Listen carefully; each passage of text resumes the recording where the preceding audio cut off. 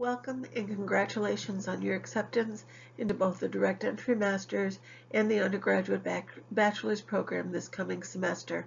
I'm Donna Weir, Senior Advisor in the College of Nursing, and I'm here to discuss information you'll need to know going forward about things such as forms, transcripts, books, uniforms, registration, etc. You have already submitted your response sheet if not, please do so by the deadline posted in your acceptance packet. This needs to be turned in by all students who have been offered a spot in the program, even if you decide you're not going to be starting the program. We need to know if you're accepting your spot or not.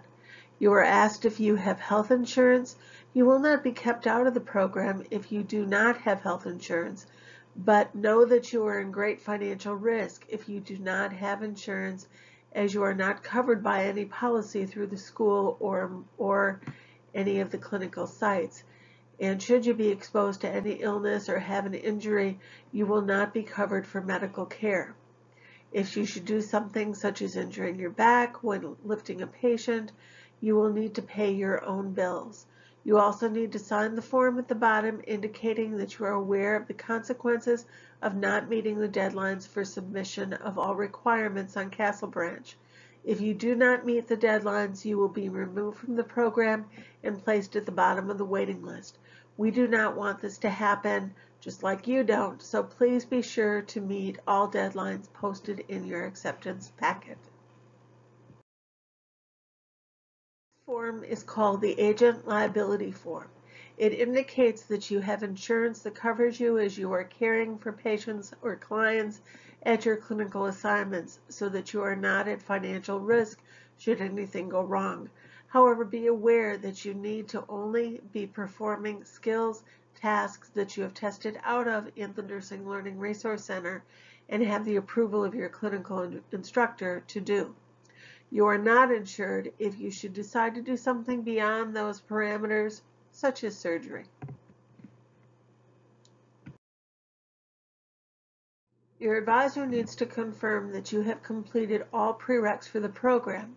If you are enrolled in courses that are not housed at UWM or at Parkside for students starting at Parkside, you need to get unofficial copies of those records to your advisor by the deadline posted in your packet, in addition to having the official transcript sent to the appropriate admissions office. This applies for all semesters. Be aware that you must earn a minimum grade of a C and maintain appropriate GPAs at the undergraduate level or a minimum grade of B for those who are entering into the direct entry master's program to be eligible to progress into those, those programs. During the break between semesters, you will receive a letter via email from the program director.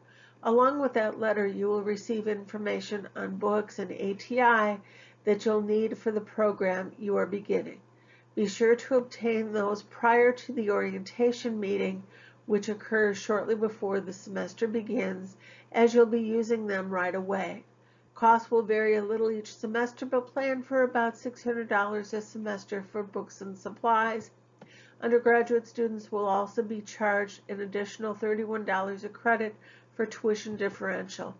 How this money is spent is decided by the Black and Gold Committee, which is predominantly students. Typically, you will see benefits in the Nursing Learning Resource Center, reduced ATI costs, and NCLEX prep um, expenses, etc., as decided by the committee.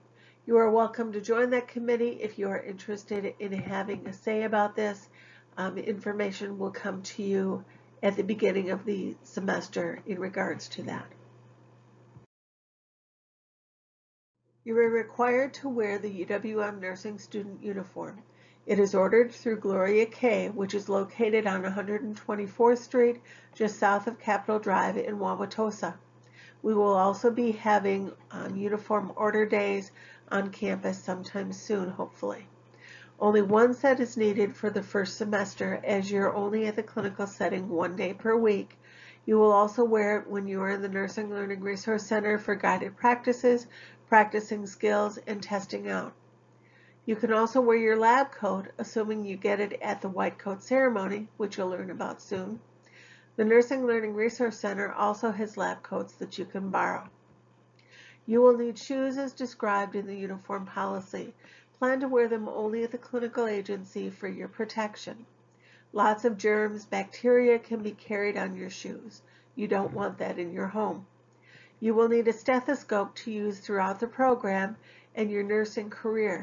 You received information on this in your packet, but you can order from anywhere. Watch the cost. You do not need an advanced stethoscope at this point in your career. Know that there are special ones available for those who are hard of hearing or hearing impaired. Your ID pictures will be taken in the Student Affairs office at the appropriate campus. Watch for information to be forthcoming on this as well. There will be a mandatory orientation meeting on Tuesday, April 25th for undergraduates and Wednesday, August 26th for MN students. Plan to be there. Lots of information will be shared at those meetings, which you won't want to miss. We also distribute uniforms at the end of these meetings. We provide lunch as it's an all-day meeting.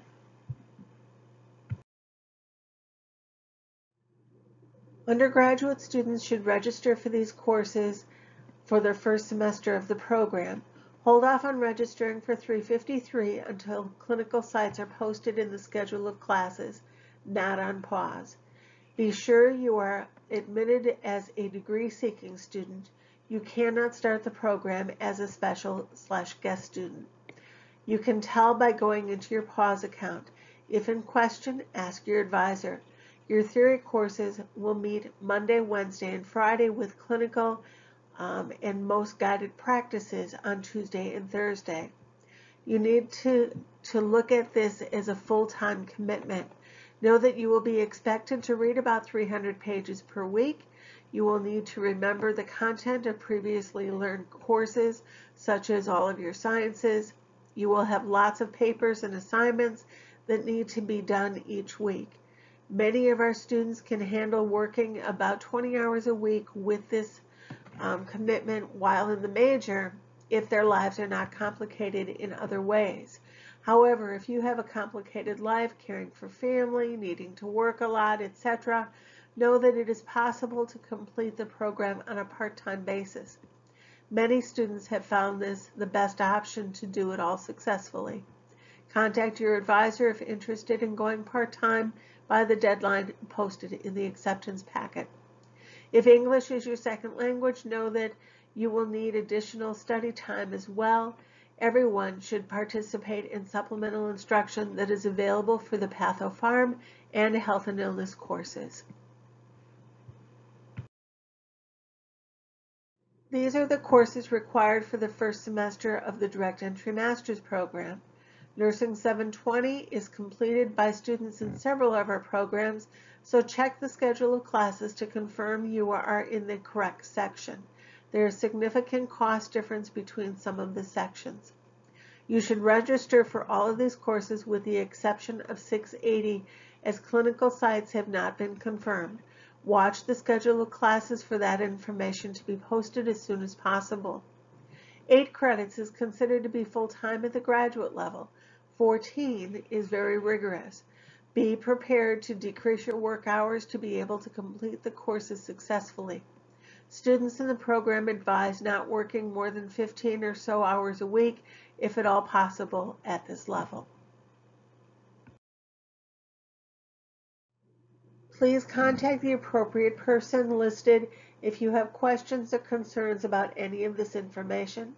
We all look forward to helping you as you progress through the program to reach your goal of being an exceptional RN. Our program here at UWM have the reputation of graduating students who are strongly prepared as they are entering into the healthcare workforce. Best wishes for your success.